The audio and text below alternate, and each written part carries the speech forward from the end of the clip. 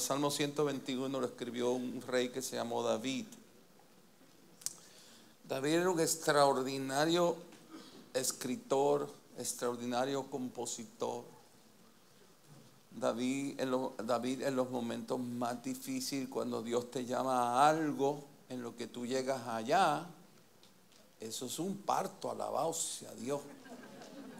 Cuando Dios te dice, tú vas a ir acá, prepárate, porque para llegar allá no va a ser un elevador con aire acondicionado, no va a ser nada de eso.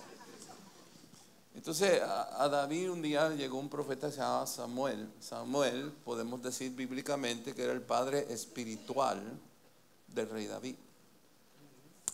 El rey David era más chiquitito, el número 8, el más chiquitito de siete, de ocho hermanos. Eran siete primero antes que él, era el que limpiaba el baño. El que limpiaba el baño en la casa de David era David, el, esclavo de los otros siete. Sin embargo, Dios los cogió, porque Dios muchas veces coge al que nadie ve, al que nadie quiere. Nunca vayas a pensar que tú eres el menos de nada. Tú no eres el menos de nada, tú eres el hijo de Dios.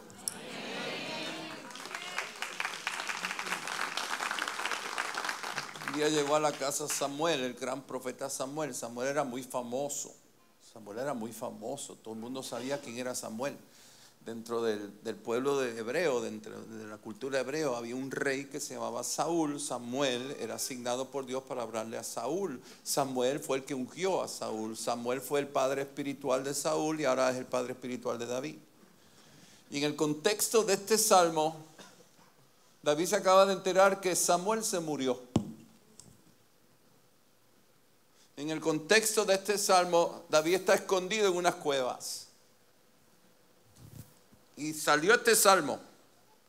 Salió este salmo con, con el único que creía en él, con el único que creía en él, con el único que él podía llamar cuando tenía preguntas y podía confiar, con el único que podía confiar, se murió. Y David se enteró.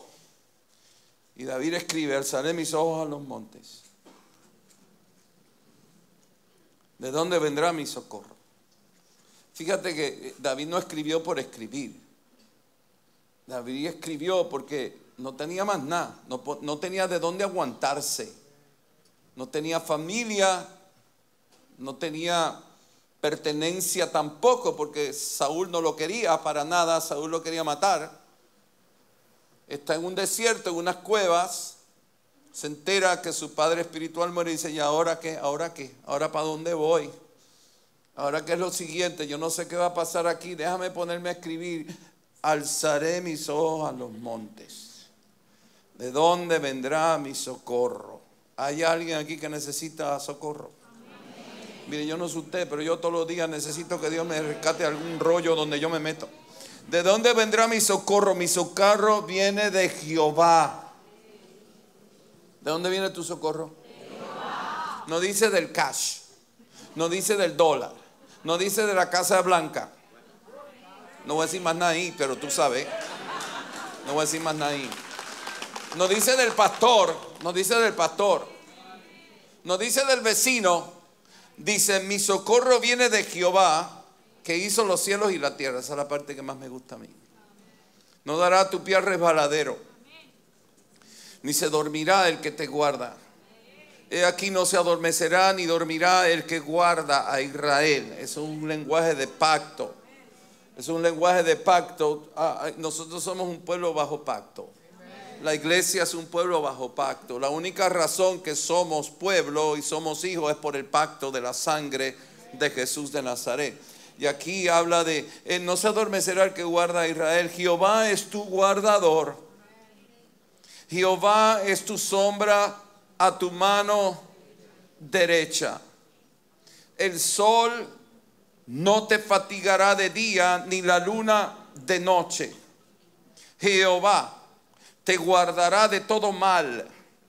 Él guardará tu alma.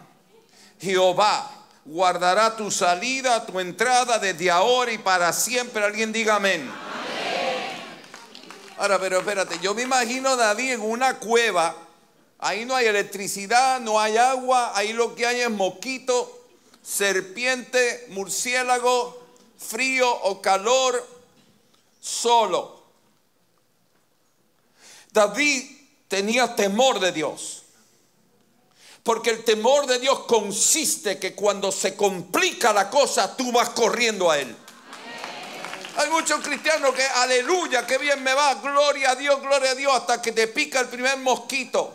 Y te pica el primer mosquito y tú sales llorando y sales quejándote y sales diciendo que Dios me abandonó y sales diciendo que no sirvo para nada y sales diciendo la víctima, la víctima, me hicieron esto, me hicieron aquello, me abandonaron. Pero cuando hay temor de Dios, hay fe. Y la, la decisión de este hombre en medio de una cueva en medio del desierto en una cueva.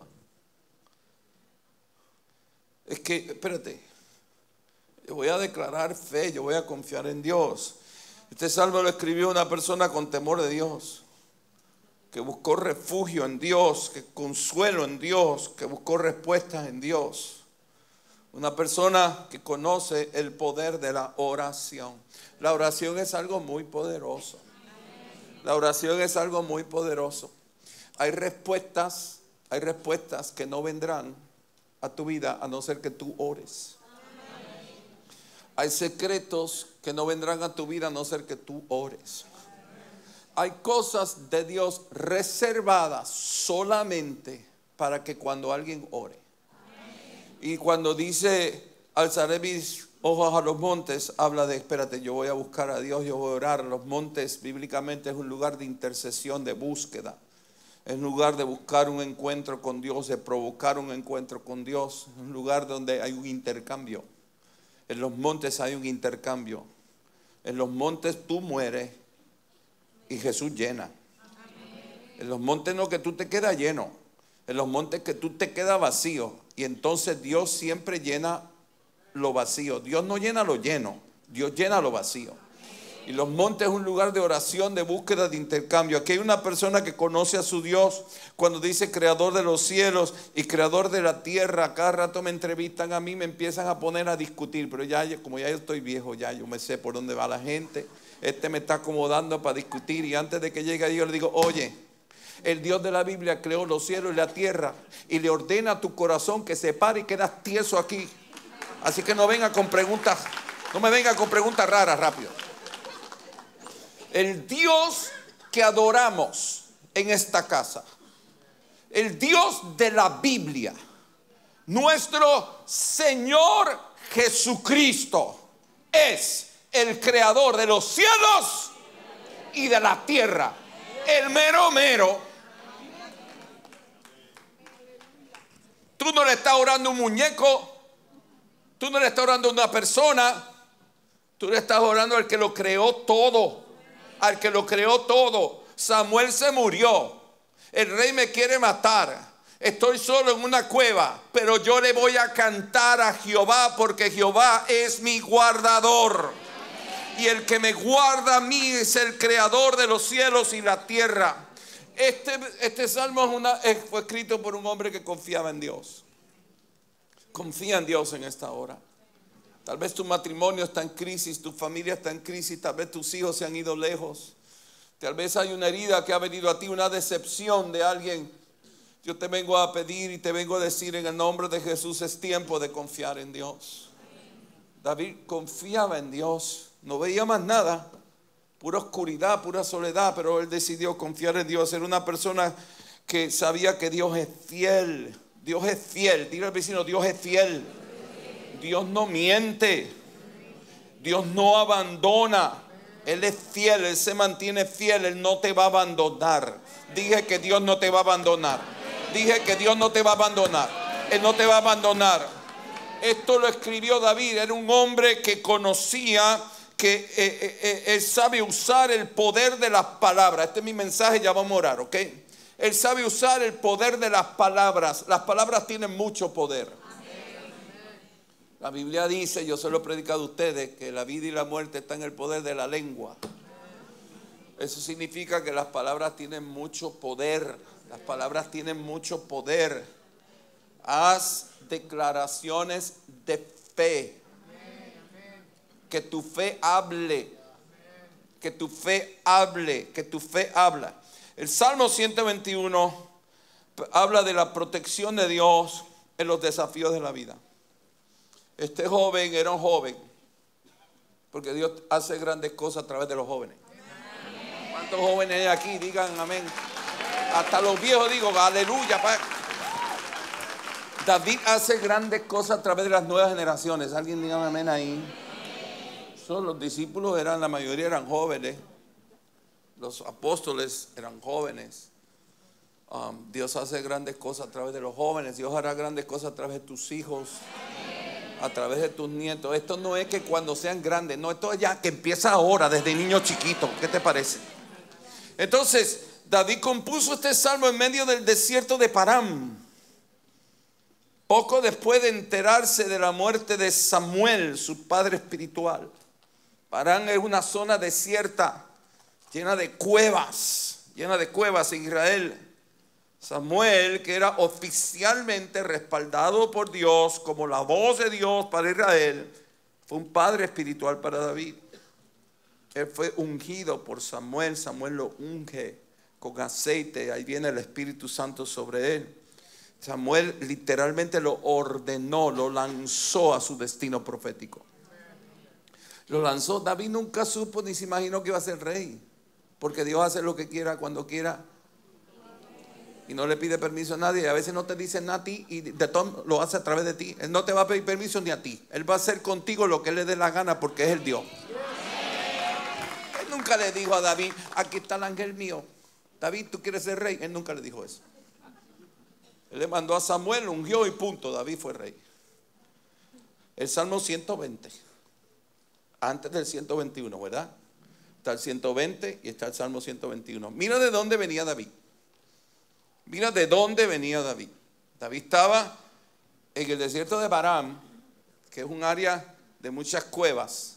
Estaba ahí, con Dios, pero de, venía, ¿de dónde venía?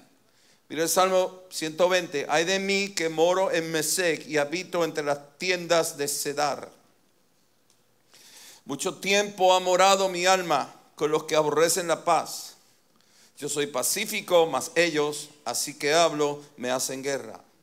Él venía de Mesec. Mesec es al norte de Israel.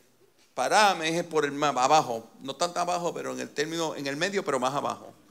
Mesec está por arriba de Israel. Mesec, eh, eh, eh, y dice que donde habitan, habitan las tiendas de Cedar. Um, Mesec es al norte, donde habitaban muchos enemigos, enemigos de Israel y enemigos de todo ser humano las tiendas de Mesec, los que odiaban Israel. Mesec era una tribu nómada. Cuando usted ve tiendas, tiendas, es que ellos llegaban a este lugar, ponían las tiendas, dormían ahí, recogían las tiendas y se iban para otro lado. Eran nómadas. Ahora, los de Mesec eran famosos porque eran extraordinarios comerciantes. Y el producto número uno de ellos eran los esclavos. Eran tribus nómadas muy listas, muy sabias, con poder adquisitivo, que se metían en los pueblos y cuando encontraban un rey flojo, cuando encontraban un rey flojo, le robaban los niños, le robaban las mujeres, le robaban los hombres jóvenes, y eran la mercancía, era el inventario. Ahí estaba David. David llegó a las cuevas porque venía de allá arriba de, ver las tiendas de Serán, esas tribus que comerciaban esclavos. Y, y David se sentía solo, se sentía totalmente solo. En el Salmo 120 también, cuando usted lo lea, léalo en su casa, usted ve que David está combatiendo los rumores. Óyeme, yo a veces pienso que David era menos latinoamericano, porque mira que nosotros los latinoamericanos tenemos una opinión para todo. Para todo, usted no conoce gente que tiene opinión para todo. Yo conozco un montón, yo no sé usted, pero para todo una crítica, para todo un, para todo, para todo. Cometiste un error, te lo recuerdan 100 veces. Metiste la pata, te lo recuerdan 100 veces. Tú decides hacer esto, entonces te critican 100 veces. Tú decides hacer lo otro y entonces te dan la opinión 100 veces. Entonces los chismes, los bochinches, los leguilargas la gente endemoniada dentro de la iglesia que no tiene más nada que hacer más que hablar mal de los hermanos. Aquí no hay ninguno, tú sabes, pero por si acaso. Reprendo el diablo de los lenguilargas chismosos. Todo el mundo dígame amén aquí.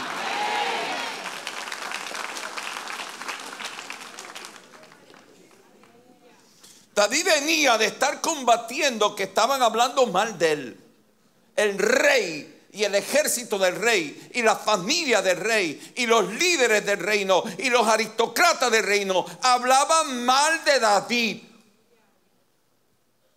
Y David se fue para allá arriba y se dio cuenta, espérate, yo no soy de aquí, me tengo que ir para allá abajo otra vez, porque aquí están los nómadas, estos que me van a coger y me van a vender como esclavo.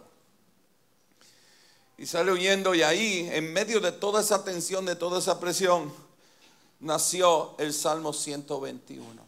Ahora vamos a leerlo otra vez, para que usted lo entienda bien. Mira David, alzaré mis ojos a los montes. Cuando vengan los momentos difíciles de tu vida, alza tus ojos, no los ponga para abajo. Usted nunca esté mirando para abajo. Los perdedores miran para abajo, los ganadores miran para arriba aunque estén perdiendo no tiene que mirar para abajo. Dígame amén, dígame amén. Usted no tiene que tener vergüenza. A usted nadie lo va a juzgar. Usted no tiene que ser perfecto. Usted va a caminar con su cabeza en alto. Porque con usted camina el que creó los cielos y la tierra. Tú no eres cualquier cosa. Tú eres la iglesia de Jesucristo. Alzaré mis ojos a los montes de donde vendrá mi socorro. Mi socorro viene mi socorro viene, tu socorro viene, tu socorro viene, tu socorro viene de Jehová. Tu socorro viene de Jehová. No es que por si viene el socorro, el salmista dijo, mi socorro viene. No es que alzaré mis ojos para los montes a ver si Dios quiere, a ver si Dios decide, a ver si Dios me escucha. No, él no dijo eso. Él dijo, alzaré mis ojos a los montes mi socorro viene. Viene de Jehová. El que hizo los cielos y la tierra. Yo no voy a resbalar porque el Señor no va a permitir que yo resbale. Tú no te vas a caer, tú no te vas a caer, nada te va a detener. Tus hijos no se van a perder, tu matrimonio no se va a perder, tu negocio no se va a perder, tu ministerio no se va a perder. La unción de Dios sobre tu vida, no hay diablo que te la pueda quitar. Ni se dormirá el que te guarda. Tú te cansas, pero Dios no se cansa. Tú puedes descansar porque tu Dios no descansa. Esa frase, esa frase, ni se dormirá el que me guarda. ¿Cuántos de ustedes no pueden dormir, pastor? No puedo dormir, estoy muy preocupado, no puedo dormir. Y la Biblia dice, acuéstate a dormir. Que Dios no descansa, Dios no duerme. Tú puedes dormir tranquilo, en paz. No dejes que la preocupación y los problemas te roban el sueño. Porque el Dios que está contigo no duerme, no descansa. No se adormecerá ni dormirá el que guarda a Israel. Jehová es tu guardador. Jehová es su sombra tu mano derecha. El sol no te va a fatigar de día ni de noche. Eso le pasa. La gente que no tiene a Dios se fatigan de día y se fatigan de noche. ¿Cuánto entendieron lo que está diciendo el, compositor este? Él está diciendo, los que no tienen el pacto, yo tengo un pacto, yo soy de Israel, yo tengo a Jehová, como tú y yo. Los que no tienen ese pacto se fatigan de día y se fatigan de noche. Siempre se fatigan, pero tú no. El sol no te fatigará ni de día ni la nuda de noche, porque Jehová te guardará de todo mal. Aquí hay personas en esta noche que recientemente han recibido amenazas. Te han amenazado. Te han amenazado aquí y te han amenazado de afuera. Personas que tú no esperabas que te amenazaran, te han puesto un ultimátum. Situaciones, tal vez son empresas que te han amenazado, si no haces esto, te va a pasar aquello. Pero hoy el Espíritu Santo te dice, Jehová te guardará de todo mal. Una amenaza, una amenaza, si tú la crees, si tú le pones fe a las amenazas, tú constrictas al Espíritu de Dios. Tú nunca puedes ponerle fe a ninguna amenaza. Cuando venga la amenaza, vaya al Salmo 121 y léaselo usted mismo. Léaselo usted mismo. Ahí dice, Jehová te guardará de todo mal. Existe el mal. El diablo es malo, pero hay mucha gente más mala que el diablo. No te creas tú que el diablo se ganó la medalla de oro de malo. Hay gente más mala que el diablo. Le zumba el mango eso. Hay gente más mala del diablo, más mala que el diablo. Hay gente que el diablo se para y le aplaude. Oh, escucho, escucho, escucho. Él no lo tiene que hacer porque lo están haciendo mejor que él. Impresionante es eso. Pero yo vengo a decirte en esta noche, la Biblia dice que Jehová te guardará de todo mal, del mal del diablo y del mal del hombre. Jehová te guardará. Hay alguien, dígame amén ahí rápido. Él guardará tu alma. Tu alma donde, donde te apuntan para herirte. Porque si te hieren el alma y te mantiene el alma herida, tú, tú, estás, tú estás cojo. Es como estar cojo. Tú tienes que estar sano, tú tienes que estar completo. Tú tienes que ser el soldado de Dios completo, sano. No te van a herir el alma. Jehová guardará tu alma. Jehová guardará tu salida. Hay lugares de donde Dios te saca.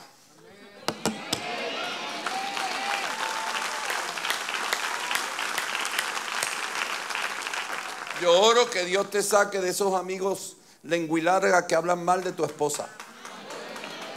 Yo oro que Dios te saque de esa mujer que te está hablando no solamente con las palabras de la boca, sino con las partes de su cuerpo que te las menea para hablarte. Yo oro que Dios te saque de toda esa gente chismosa que se la pasa hablando mal de tu marido. Yo oro que Dios te saque de todo lugar donde viene. Hay, hay lugares donde Dios te saca. Mira, ahí dice, Jehová guardará tu salida. Hay salidas que Dios la hace para guardarte. En ese mes de la familia, que hemos hecho tantos seminarios, tantas prédicas, tantas actividades. Usted tiene que tener cuidado con las personas que le rodean. Porque hay personas que tienen poder de apagar el don de Dios en ti. Y después dicen, es el diablo. No, no es el diablo. Ahí dice, Jehová te guardará de todo mal. Ahí no dice, Jehová te guardará del mal del maligno. Ahí dice de todo. Hay diferentes tipos de mal. Y usted tiene que tener cuidado con personas que lo envenenan y los inspiran a la traición y los inspira a desconectarse de la gente que Dios lo quiere conectado. Sobre todo en el tema de familia. Yo siempre le he dicho a ustedes, primero Dios y después qué? Y después la familia. So aquí dice el salmista, mira, mira qué profundidad todo lo que le está diciendo. Jehová guardará tu salida. Jehová guardará tu entrada. Hay un tiempo de salir y hay un tiempo de entrar. Desde ahora y para siempre. En otras palabras, la vida consiste en salir y la vida consiste en entrar. Lo importante es que Dios me guardará cuando me toque entrar y cuando me toque salir.